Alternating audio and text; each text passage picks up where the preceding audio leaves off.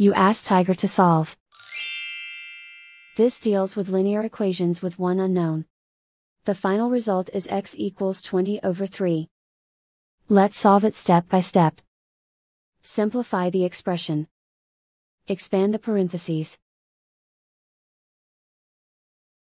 Multiply the coefficients.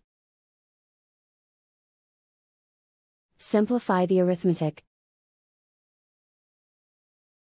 Group all x terms on the left side of the equation.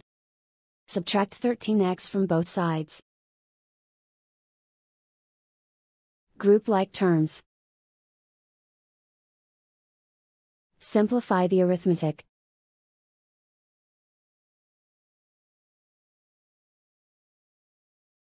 Group all constants on the right side of the equation. Subtract 20 from both sides. Simplify the arithmetic.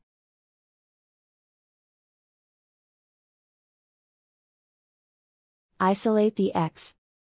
Divide both sides by negative 3. Cancel out the negatives. Simplify the fraction. Cancel out the negatives. And so the final result is x equals 20 over 3.